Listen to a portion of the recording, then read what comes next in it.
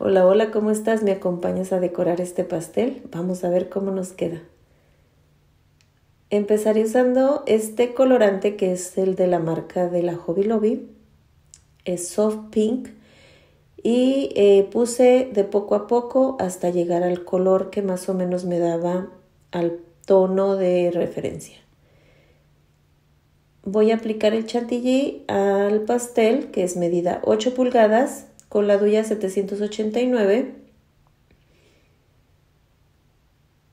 y tiene la altura de 6 pulgadas. Y pues aquí le damos que baile la bailarina y ahí mira cómo veía yo como que mi pastel estaba chuequito pero nada que no pueda arreglar la crema.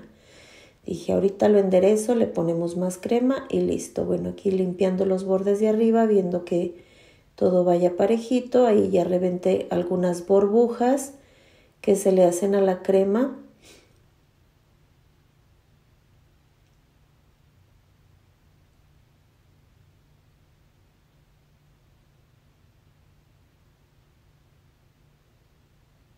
y pues seguimos alisando. Vamos a dar otra pasada para tapar esos huequitos que le hice y que baile la bailarina. Yo ahí miraba que mi base quedaban como unos brinquitos, no sé si lo notes, pero quedaba unos como unos tipos borditos, no sé por qué. Y ahora el acetato para borrar cualquier imperfección que nos haya dejado el otro alisador tanto en la parte de los lados como en la parte de arriba.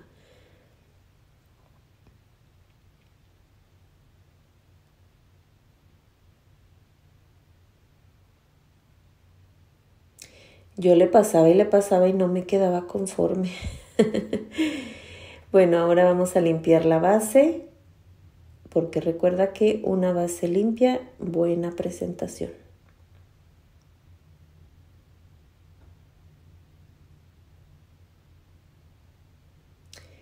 Ahora vamos con el segundo piso que es un medida 5 pulgadas.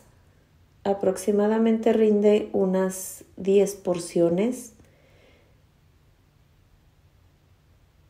Está alto el pastel.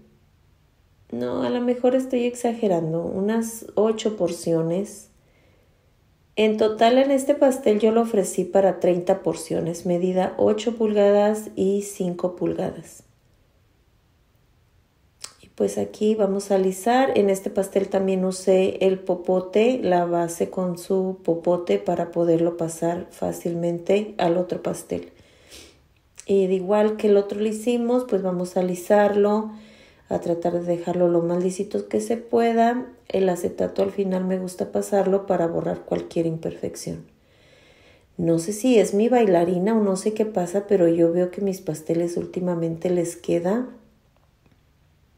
esos brinquitos.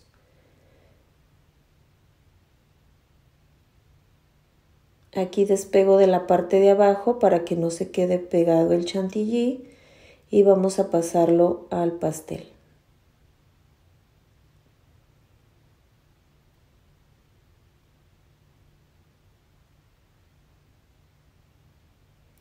Corto el popote, ya lo había cortado, pero te quise enseñar que lo cortaba y lo introduzco, lo, lo empujo hacia adentro. Vamos a poner soporte de madera para que no se nos mueva a la hora de transportarlo, pero esto lo sabe el cliente que lleva este palito de madera. Ahora voy a usar este matizador que es de O Art con un poco de vodka y vamos a darle unos salpicones aquí, unos, pues sí, como salpicaditas de, de matizador por todo el pastel.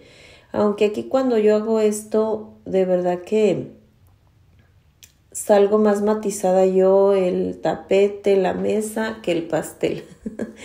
Voy a estar usando estos Candy Mills con un poquito de aceite de coco. Vamos a estar ah, cubriendo estas fresas con chocolate de este color. Le puse el chocolate para que fuera un poco más ligero y nos quedara más, mm, pues más delgadita la capa de chocolate, que no sea tan grueso. Voy a estar usando este chocolate que es para drip. Lo encuentras en la tienda de Walmart. También los otros Candy Mills los compré en Walmart.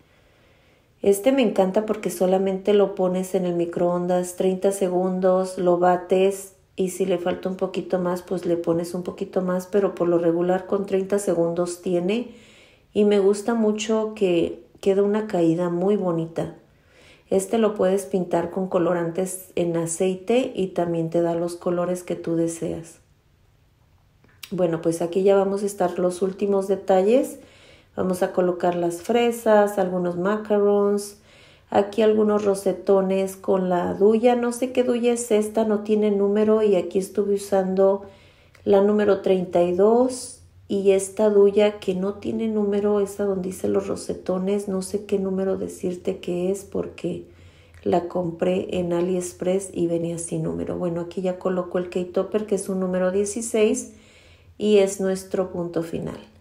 Bueno, pues espero que te haya gustado este video. Te mando un saludito donde quiera que te encuentres.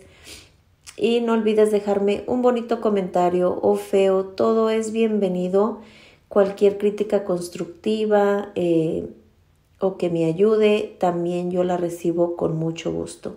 Cuídate mucho, nos vemos en un próximo video. Hasta pronto.